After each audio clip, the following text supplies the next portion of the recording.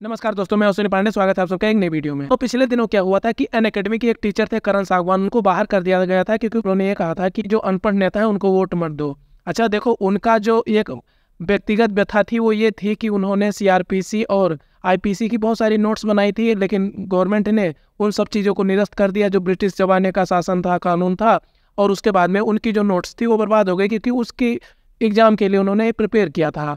तो इस वजह से उनका इस प्रस्पेक्टिव से भी बोलना था तो इस वजह से आधी आधी वीडियो दिखाई जा रही है। बेसिकली सोशल मीडिया पे ढूंढना बड़ा मुश्किल हो रहा है पूरी वीडियो लेकिन ऐसा है कि इसमें वो रेफरेंस ये दे रहे थे कि मैंने भी बहुत सारी नोट्स बनाई थी, लेकिन उसके बाद में वो सब बर्बाद हो गया। लेकिन आप कहोगे कि करण सागवान तो पूरी तरह गलत थे, क्योंकि उनको ऐसा नहीं बोलना चाहिए था। उनका व्यक्तिगत अगर नोट्स था और वो बर्बाद हो गया, क्योंकि सेंट्रल गवर्नमेंट कानून चेंज कर दिया तो इसमें सेंट्रल गवर्नमेंट की क्या गलती है उनको अनपढ़ा क्यों बोल? सिर्फ़ सेंट्रल गवर्नमेंट की बात नहीं है। मैं बहुत सारी क्लिप डाल रहा हूँ, आप देखो इस लेवल के यहाँ पे नेता है। यह राजस्थान के स्पोर्ट्स मिनिस्टर, इन्होंने कहा था कि जो लोग चंद्रमा पर गए हैं, उनको हार्दिक बधाइयाँ देता हूँ। उनके कहने का मतलब था कि ये मैंड मिशन है, यानी इसमें इंसान भेजे गए हैं। ये नॉलेज थी उनको चंद्रयान के बारे में। हम कामयाब हुए और सेफ़ लैंडिंग हुई।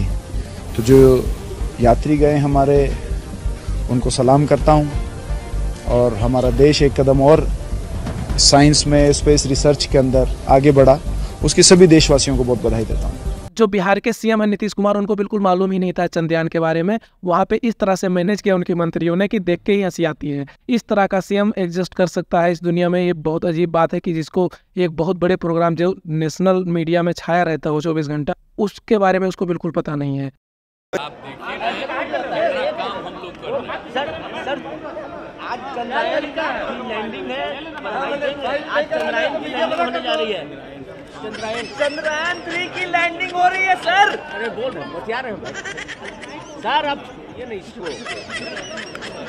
अरे अरे अरे बोल रहे हैं भाई। अरे अरे बोल रहे हैं। अरे छोड़िए है ममता बनर्जी ने ये कहा था कि देखो राकेश रोशन ने बातचीत जब करी थी इंदिरा गांधी जी से तो कहा था कि दुनिया में सारे जहाँ से अच्छा है हमारा हिंदुस्तान ये ऐसा दिख रहा है हमें स्पेस से। আমার মনে আছে চাঁদের মাটিতে যখন তারা পৌঁছেছিলেন ইন্দিরা গান্ধী জিজ্ঞেস করেছিলেন রাকেশ रोशन যে उधर से कैसे लग रहा है आसमान से कैसे लग रहा है महाकाश से इंडिया को बहुत सारे नेता हैं कुछ नेता बीजेपी के हैं इवन तो कि अरविंद केजरीवाल भी 2020 में बहुत सारे बयान दे चुके थे कोविड 19 की वैक्सीन के बारे में कि उसका फार्मूला ये कर देना चाहिए वो कर देना चाहिए जबकि उनसे ये बात एक्सपेक्ट नहीं की जा सकती है क्योंकि वो ऑलरेडी बहुत पढ़े लिखे इंसानों में से आते हैं केंद्र सरकार इन दोनों कंपनियों से वैक्सीन बनाने का फॉर्मूला ले ले और उन सभी कंपनियों को दे दे जो सुरक्षित तरीके से वैक्सीन बना सकती हैं। देखिए, हम तो भारत के उन वैज्ञानिकों को धन्यवाद देता हूँ कि दिन प्रतिदिन रिसर्च करके एक नई खोज कर रहे हैं। जो चंद्रयान थ्री की बात आप कर रहे हैं इसके लिए हम उनको बधाई देते हैं। कल सकुशल वो धरती पर आने का जो टाइम है, आने के बाद उसका स्वागत पूरे देश को करना चाहिए। डिग्री होना अलग बात है और असल नॉलेज होना अलग बात है और दूसरी बात, आप लोग ऐसे नेता को चुनोगे जिस तरह के नेता इस वीडियो में देख रहे हैं आपको, जो चंद्रयान के बारे में इस तरह से बातें बोल रहे हैं। अगर आप चूज़ करोगे तो आपको बधाइयाँ। बट मुझे लगता है कि करण सागवान अपनी जगह पे सही थे। हालाँकि हमें डिफेंड करने की ज़रूरत नहीं है क्योंकि जिस कंपनी में वो काम कर रहे थे, जब उस कंपनी ने नहीं उनको डिफेंड किया, बाहर निकाल दिया तो हम क्या ही डिफेंड करेंगे? बट अदरवाइज़ एक टीचर को सच्चाई बताने का हक होता है और उन्होंने अच्छा किया। उनकी व्यक्तिगत कुंठा यही थी कि सीआरपीसी और आईपीसी की जो उन्होंने नोट्स बनाई थी, वो उनके एग्ज़ाम में काम नहीं आई। इस वजह से वो ये बात बोल रहे थे। मुझे भी ऐसा ही लग रहा था, मैं रोऊं या हंसूं, क्योंकि मेरे पास भी बहुत सारे मेरे बेरेक्स हैं। बहुत सारे केस नोट्स हैं, बहुत सारे नोट्स हमने भी बनाए थे। ठीक है, हर किसी के लिए बहुत मेहनत है, आप लोगों को भी काम मिल गया।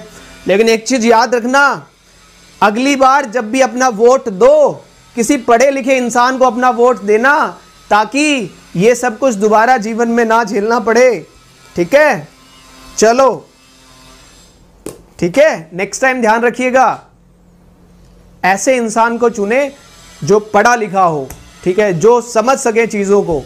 सिर्फ़ ऐसे इंसान को ना चुने जिनको सिर्फ़ बदलना आता हो, नाम चेंज करना आता हो, है ना? तो मेक यूर डिसीज़न प्रॉपरली है ना?